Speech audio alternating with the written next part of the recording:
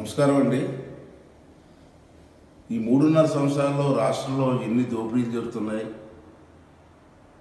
ఇంతమంది భూములు ఆక్రమించుకున్నారు. ఇవన్నీ మనం చూస్తూనే ఉన్నాం. మళ్ళీ నేను చూశాను మీరు ఢిల్లీలో లెక్కర్ స్కామ్. చేసింది ఎవరు? శరత్ రెడ్డి. అతన్ని నిన్న అరెస్ట్ చేశారు కూడా. ఈ శరత్ రెడ్డి ఎవరు? ఏటు విజయసాయి రెడ్డి గారు అల్లుడు గారి తమ్ముడు. అంతేకాదు జగన్మోహన్ రెడ్డికి అత్యంత సన్నిహితుడు.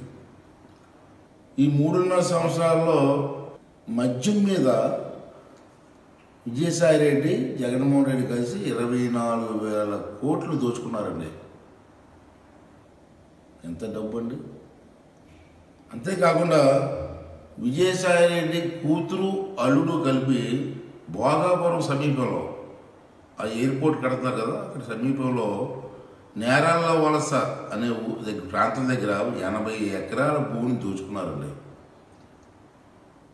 మరి అదే కాకుండా ఇంకో ఘోరం ఏంటంటే భోగాపురం ఎయిర్పోర్ట్ రోడ్డు వేస్తాం రోడ్ వేయాలని చెప్పి ప్రపోజల్ పెడితే ఆ రోడ్డుని ఈ ఎనభై ఎకరాలు దోచుకున్న రోడ్డు స్థలం పక్క నుంచి రోడ్డు వెళ్ళే విధంగా డిజైన్ కూడా మార్పించుకున్నారు. ఎందుకు?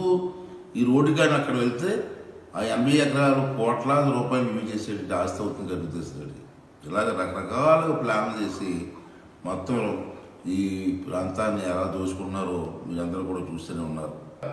విజయసాయి రెడ్డి జగన్మోహన్ రెడ్డి తోడు దొంగలు. మన దగ్గర తెలుసు కదా పదహారు నెలలతో జైల్లో కలిసి ఉన్నారు ఇద్దరు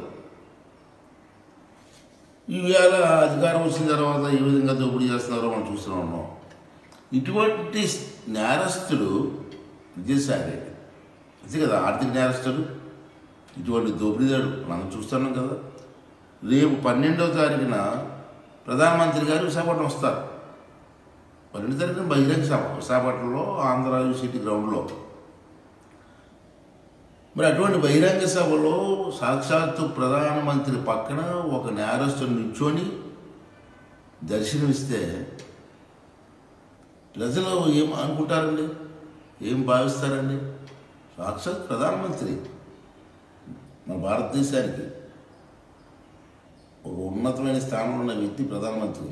ఆ ప్రధానమంత్రి దగ్గర ఒక దొంగ దొంగడు ఆర్థిక నేరస్తుడు పక్కన ఉంటే అది దేశం అంతా చూస్తే ప్రజల తాలూ మనోభావాలు ఎట్లా ఉంటాయో బీజేపీ నాకు ఆలోచించాలి కదా. మన దేశమే కాదు విదేశాల్లో కూడా చూస్తారు ప్రధానమంత్రి గారి మీటింగ్ని. మరి ప్రధానమంత్రి మరి పక్కన అన్ని- అన్ని టీవీల్లోని కూడా ఈ ఆర్థిక నాశనం పక్కన ఉంటే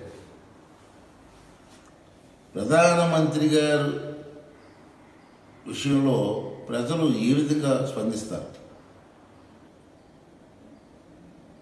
ప్రజల మనోభావాలు ఏ విధంగా ఉంటాయి? రెండోది ఏంటంటే విశాఖపట్నంలో మూడున్నర సంవత్సరాలుగా విజయసాయి రెడ్డి ఎంత దోపిడీ చేశారన్నది మీకు కూడా తెలుసు.